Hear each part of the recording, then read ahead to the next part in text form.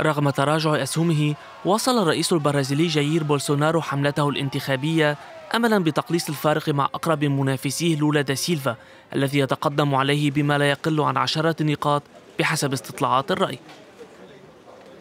أنا واثق من أننا قريبون جدا من الفوز في هذه الانتخابات من الجولة الأولى. فوز لولا دا سيلفا يوم الأحد غير مستبعد لكن هذه النتيجة قد تتأثر بهامش الخطأ بحسب استطلاعات الرأي. ما يعني إمكانية الدعوة إلى جولة انتخابية ثانية في الثلاثين من الشهر الجاري. فرضية يعززها انقسام الشارع البرازيلي. خلال السنوات التي كان فيها لولا رئيسا دمر البلاد وسرق الكثير.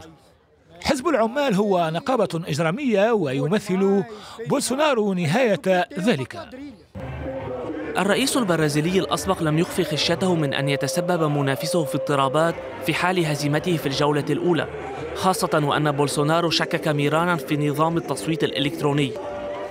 وعليه لم يستبعد محللون أن يدعو بولسونارو أنصاره إلى النزول إلى الشارع ليكرر السيناريو الأمريكي في إشارة منهم إلى اقتحام أنصار الرئيس السابق دونالد ترامب مبنى الكونغرس احتجاجا على خسارته الانتخابية.